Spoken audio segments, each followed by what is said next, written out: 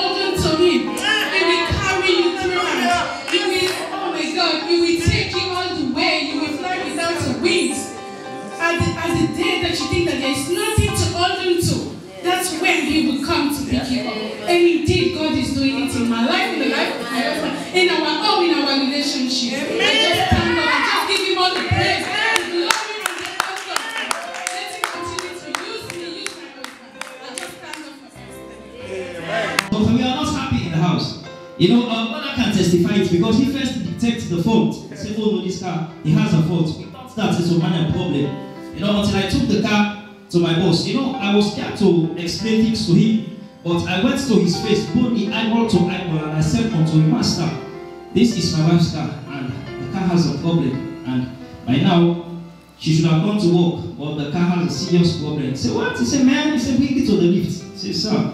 And I took the car, I went to the lift. He said, You can do the. I said, Yes, I can try. He said, Man, you can Hallelujah. So he gave me the authority, and I went, I watched at the car.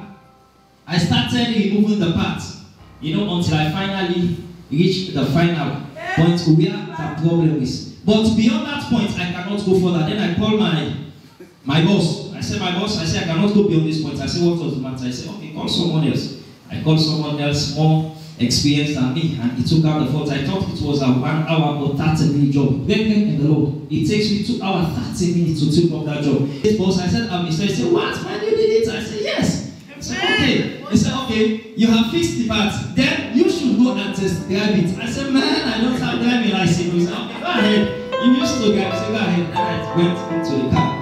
I the car. I went as far as Bank of America. And I want to go beyond because he, uh, oh no, when I think that I was to come to Bible study, I said, no, let me back up. Then I come to my garage and I said, man, I said, I've done it. He said, what? You did it? I said, yes. Okay, then go home. And on the next day, when I went to the garage and explained the work, I said, the work is done. He said, what? He said, it's done. I said, yes, it's done. I said, what is the condition? Oh man, just leave it. You don't have to pay nothing. You have done work. I said, hallelujah.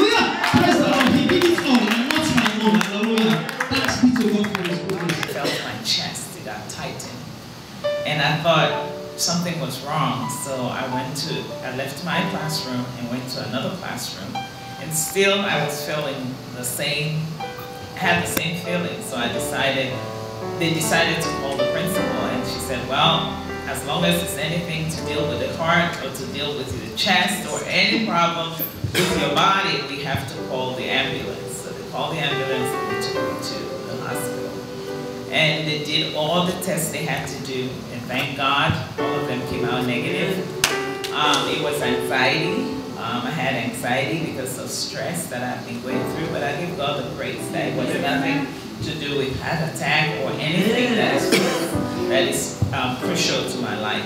So I just want to give God the praise and thank Him and say that He should continue to, to um, strengthen me so that I will continue to be strengthened in His Word and, and do the work that He wants me to do. On behalf of a friend of mine, Amen. I thank God for her life. She's not here. I prayed for her all last night. I thought about her in my quiet moment. But I just want to thank God for her life. She is in this country. She came here. She don't have nobody here. But God make a way for her. And I thank God when I look at her and I look at her kids that she had. We went to nursing school together. She was my roommate. We stayed in the same room. We fight every day, but we cling to each other until we came here. So I just want to thank God for her life. And thank God for her family. I also thank God for the husband.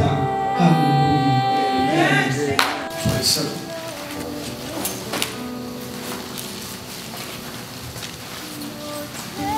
Want to appreciate each and every one of you that's here this morning, and I believe that God has something for you. And I know that you are not here by mistake. God is always planning ahead of His children, and He directs their path. So if you are here this morning, I appreciate it, and God bless you. Amen. Hallelujah. And I pray that your ears will be attentive to the word of God because the purpose where we are here for is to get food for the soul, not food for the flesh, food for the soul. Hallelujah. Food for the soul. So now let's turn our Bibles to the book of John. John 14 27. What was the scripture say? Please. Not as the world give, giveth, give I unto you. Let not your hearts be troubled, neither let it be afraid. Hallelujah. My topic this morning is let not your heart be troubled. Let not. Hallelujah. When the Bible says let not, it means that there is a responsibility. Let not. Because why you have to let? You have to allow. To let is to allow, to give a chance, to give an opportunity. Hallelujah. So when the Bible says, let not your heart be troubled, it means that you have a responsibility to not allow your heart to be troubled. Praise the living God. Amen. That's very, very vital. Jesus speaks, and he speaks most of the time. If we turn to another part of the Bible, to the book of Matthew, chapter 6, verse 25. Matthew, chapter 6, verse 25. Which of you, by taking thought, can add one cubit unto your status? Which of us can add one cubit to our status? If I'm five feet, what can I do to make it five feet seven? There is nothing, absolutely. Hallelujah. So the Bible is emphasizing, Jesus is emphasizing that we should not take thought on what we should eat or what we should do. He said, do not be troubled. You know, it is a very, very powerful time to tell somebody not to be troubled. Mm-hmm. Reason why God wants you to be in perfect peace. That is the reason why He created man. There's a purpose for your being here. Hallelujah. This is not by mistake. And if God, if the Bible says, do not let your heart be troubled, as I said earlier, there is a responsibility that you have to perform. There is something that you have to do. Hallelujah. So, what do you have to do? The Bible says, according to the bulletin, it said, um, guard your hearts. Hallelujah. Amen. It said, guard your heart. From, from the heart comes the issues of life. That means what? It is not every thought that you have to entertain in your heart. Yes. Not every thought. If you are entertaining every thought, then you become you become a polluted tank. Because the Bible says, as a man thinketh, so is he. If you keep standing and thinking about evil things, then you become an evil person. If you start thinking about oppression, then you walk around oppressed. If you start thinking about you pass around, you have too much problems. There are certain times when I have problems, I just decide to forget about them. Just forget about them. I don't entertain thinking about those problems because they are poison in my system. Yes, sir. Hallelujah. That is why remove the load, put it aside. Leave it, leave it so that God will work on it. Praise the living God. There are certain problems that I encounter in work. So some because sometimes I do I, well we use computers. I, I get the problem with a certain situation or something I have to do, I will leave it. The Bible says it's the most crafty animal that you can ever think about. Hallelujah. The serpent is wise when it comes to tricking human beings. So that is why we should guard our lives because from it the issues of life come. If you don't guard your heart, you will always be in trouble. Hallelujah. There are a lot of things, a lot of reasons why we should guard our hearts. It's not only for problem, it's also to avoid us from involving into certain things that we should not get ourselves involved to end up in a regretting place. Praise the living God. There are certain things that you don't have to entertain, you just have to put them aside. So this morning my message would be do not, don't let your heart, don't be troubled. Take trouble away.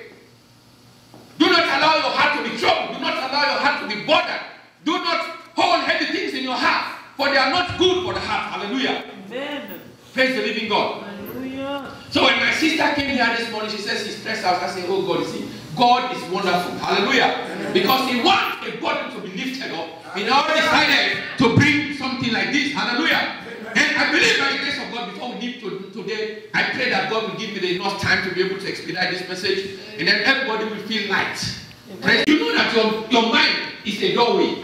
Thoughts come, they pass by. Everyone that you decide to entertain will take position. Yes. will change your life, will pattern your life the way you want it to be. If it's a thought from the devil, then you are in trouble. Hmm. Hallelujah.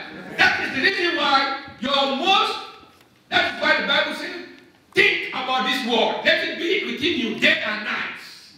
Because it is the word of God that will give your soul food and give you strength.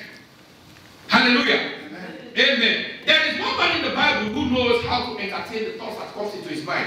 And that man is David. Let us look at what he said in his, in his word. In, in, his, in his Psalms, one of his Psalms that he wrote. Uh, Psalm 27. It said, The Lord, Psalm 27 verse 1. It said, The Lord is my light and my salvation. He was in deep trouble. He was in very serious trouble when he, he wrote this psalm. He said, The Lord is my light and my salvation. Whom shall I fear? The Lord is my strength, the strength of my life. Whom shall I be afraid? When the wicked, even my enemies and my foes come upon me to eat me up, to eat up my flesh, then they will what? Stumble and they will fall. So if your heart is right with God, the enemy will have nothing to do with you. Yes, sir. If you control your thought life and put it in the things of God, when you are thinking a good thing about somebody, somebody is planning evil behind you, then you don't have to worry. It is not your battle. Amen. Right. Thank you. It is not your battle. Right. Hallelujah.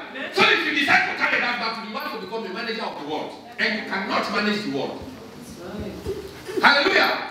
You cannot. That is the reason why when there is something that is going on in your life, you have to take thought and begin to think about the scriptures. Think about an encouraging scripture, encourage yourself in the word of God, and that will super, super, will supersede the power of the devil in your life. Hallelujah. So David said, he said, when the enemy come to eat me up, because I am currently in the word of God, I am thinking about God. Yeah, it's just like somebody is planning to launch a satanic attack against you and you find you praying. They find you praying.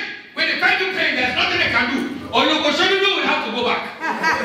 the messenger of death that is sent to come and launch an attack will have to go back.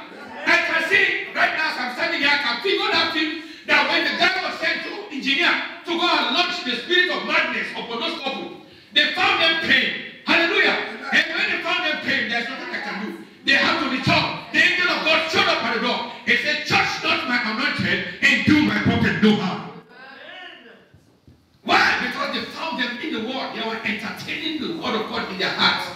Because it's the only secure location that I can at that position that you can be in time of desperate uh, business, uh, witchcraft or demonic attack is when you are in the house of God. And the house of God inside you. The Bible says, No more shall I dwell in houses built with what?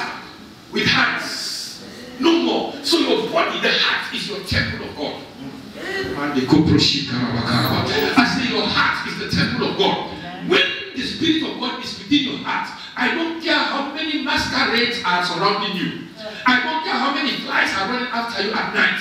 I don't care how many witchcraft power is challenging you. As long as you are encamped in the house of God, there is nothing that they can do to you. Amen. They shall surely gather. They shall do what they have to do. They shall perform what they have to perform. But God is a powerful God that will do all their works. By the way, God is omniscient. Hallelujah. We have to serve an omniscient God. What does omniscient mean? Yes. He knows and sees everything, even our most secret thoughts. God, when we used to study catechism, what is one of the things that I admire? They say, God, where is God? First of all, that's the first question. The, Bible, the, the catechism says God is everywhere. Everywhere He is. Hallelujah.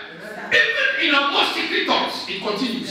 Even in our most secret, it means even in the secret thoughts of the most evil person, God is there.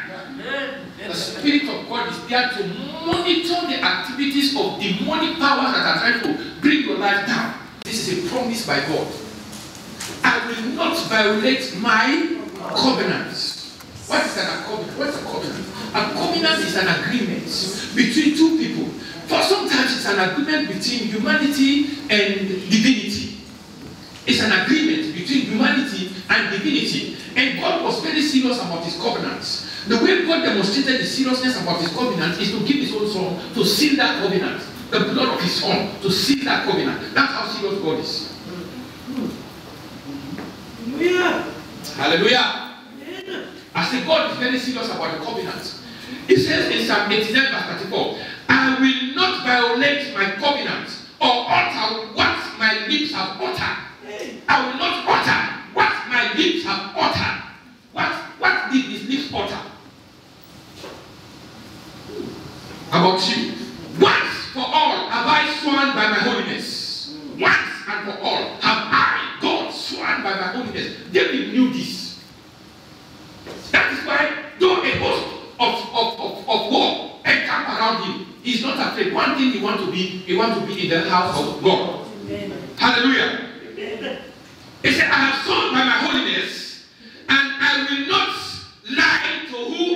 David. I will not lie to who? David. Who is David? David is the root of Jesus Christ, the Son of God. I said, David is the roots of the tribe of Judah. David is the root of the tribe of Judah. So God said,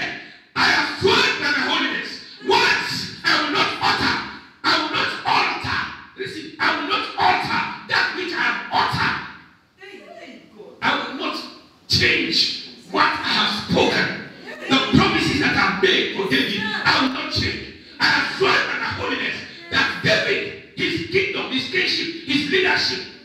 Hallelujah. Let's continue. I will not lie to David that his line will continue forever and his throne endure before me like the sun. When God has made this kind of promise, promise, and you know that you are inside this promise, you are inside this covenant. And by the way, it is very important to be in church every Sunday. Why, if somebody leaves a covenant with you, if, if somebody leaves a will for you, when they are reading the will, you want to be there. The will is this book. Hallelujah. The will, what God has left for you, is all in this book. It depends on the level at which you take it how you appreciate it, how you accept it, that is how it's going to impact your life. Hallelujah. It will seem as if all is lost. That is how sometimes the devil presents your pictures. That is all over. He did present that same picture to Jesus Christ before the disciples. They hung him on the cross, nailed him publicly, crucified him, and killed him in a shameful death. But finally, if he had known, he should not have done that. But that was what, because that was what empowered Jesus to go down to hate and take the key from you. Hallelujah. Praise the Lord. Hallelujah. That is how powerful the death that he created cause to happen. Hallelujah. So David had an understanding of his position in Christ, his position in God. He knows that his, his line, God said, Your line will be before me like the sun. I have sworn by my holiness. Once have I spoken, and I will not utter, neither will I lie to David. David's representation today is you and me here. Hallelujah. Because we are partakers of that covenant. It's the new covenant that God is talking about here. It's not about the old covenant. The covenant of Jesus Christ. When God talks about the covenant, the covenant between him and David, he's talking about the covenant of the blood of Jesus on the cross of Calvary, which you and I s- s- say and share together. Hallelujah. And in fact, we are going it renew it today. Praise the living God. Hallelujah. So you know how to let your heart be troubled. So you see now how you will let your heart be troubled if you don't know these things. If you don't know what is in the will for you, how can your heart not be troubled? When somebody accuses you falsely, when somebody maltreats you, when somebody underestimates you as a human being, because you don't know the will of your Father That's right. who is in heaven, Thank you, Jesus. then you will stand to be a loser. Amen. you will start to begin to trouble. And if you don't be careful, by getting your heart troubled, getting your heart worried, there is something that is going to happen. Unbelief will begin to show up. You begin to offend God through your unbelief. You begin to offend God through doubt. And doubt is not of God, it's of the devil. Then you begin to fear. Fear is not of God, fear is of the devil. You fear because why you don't know what is in the will for you for, from your father. So I don't care if you have put me in a pit. My God is able to lift me up and put me on a rock, untouchable, unshakable, unmovable. Yes, sir. Hallelujah. He will put you on a rock. Have you ever seen somebody trying to disgrace you? He has done all he could, but he cannot. It is not by your power. It's not by your understanding. It's not by your wisdom. It's not by your strength. It's not by your might, but by the Spirit of the living God. Hallelujah. That is the type of in the things of God. So that you will know which position you carry. What is it that is it for you in your will, in the will of the Father for you? You have to know. Psalm 23. Hallelujah. It's wonderful. Yes. Praise the living God. Amen. Psalm 23. The Bible says in the book of Psalm 23, it says, The Lord is my shepherd. Who is a shepherd? Shepherd. Who is the shepherd? A shepherd is the one that guards the sheep. So God is telling you, as an ordinary sheep, do who does not know his left from his right. In other words, you are like a baby before God. You are still having the pacifier in your mouth in the sight of God. You are still sucking milk. Hallelujah. So the Lord is your shepherd. So if the Lord, the there's one story in the Bible that says there was one man who had wounded sheep. One of them was missing. He left the 99 in the cage and ran after the one. That one is you. Amen. Hallelujah. I said that one is you. Because God is interested in you. He will not leave no stone unturned if you are missing in his presence. That is what is in the will of God for you. Jeremiah 29 11 says, If you know the thoughts that I have for you, you will run for your life. You come to me. That's my own version. If you know the thoughts that I have for you, you will run your life to chase and pursue me every day. Because the beloved entire universe belongs to you. If only you can come to me. If only you can obey my word. Everything about this world is for you. Because there is no man. The Bible says when, when, when God was about to transfer the leadership from Moses to Joshua, he uttered one statement. He said, As I was with Moses, so will I be with you. There shall be no man that can stand against you. Hallelujah. That's the word of God. That's an encouraging one. You see, it is good to understand, as I said, what God has in store for your life. it is good to understand when we talk about it here, let it just don't enter here and come out. Please retain it in your mind because when you retain it in your mind, that's the time it will have effect. If you don't keep it in your mind and it goes in and flies out, then it has no impact in your life. When the problem comes, there is nothing that you stand upon.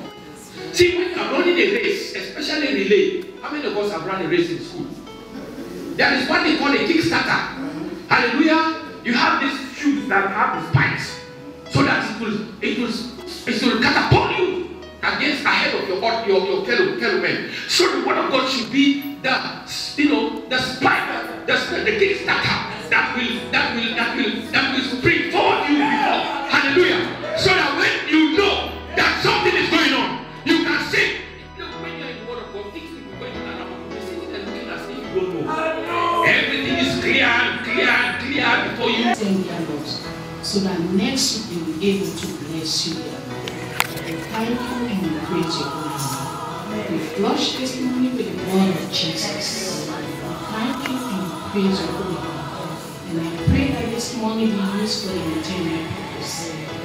Praise your holy name, Lord.